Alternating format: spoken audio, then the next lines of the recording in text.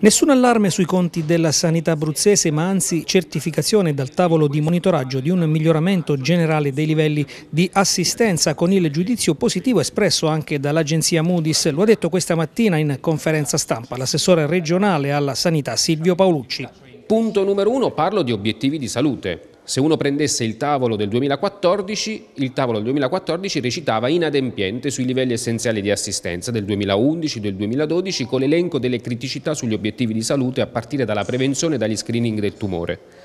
Per quanto invece ci riguarda, nel 2018 il monitoraggio e dunque il Ministero scrive ehm, miglioramenti su tutti i profili dell'assistenza e ovviamente larga adempienza perché siamo molto oltre la soglia del cosiddetto punteggio di 160.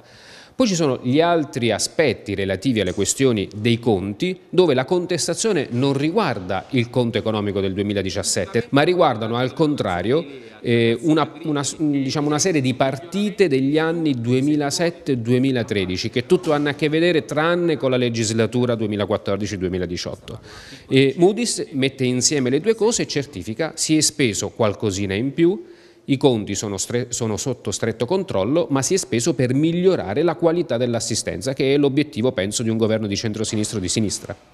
Giudizio invece negativo arriva dal centrodestra che parla di numeri fortemente negativi e di dati preoccupanti come hanno spiegato i consiglieri Mauro Febbo e Lorenzo Sospiri riferendosi ai dati ministeriali del 2017. Non lo dice Mauro Febbo, non lo dice Forza Italia, purtroppo lo attesta un verbale del Ministero che dice che è così, non torna in termini sanitari, non torna, non torna in termini economici ed è grave ambedue le cose, non torna in termini sanitari perché ciò che c'era stato detto e annunciato come eh, l'ospedale di aree disagiate di Atessa non, non, non, vi è traccia sul verbale, non vi è traccia dei cinque ospedali nuovi che bisognava realizzare a Lanciano, Vasto, Avezzano, Giulianova, non vi è traccia del punto nascita eh, di Sulmona, non vi è traccia soprattutto del DEA di secondo livello che è un'eccellenza per questa regione che si doveva realizzare l'integrazione tra gli ospedali di Chieti e, e, di, e di Pescara. Purtroppo i dati economici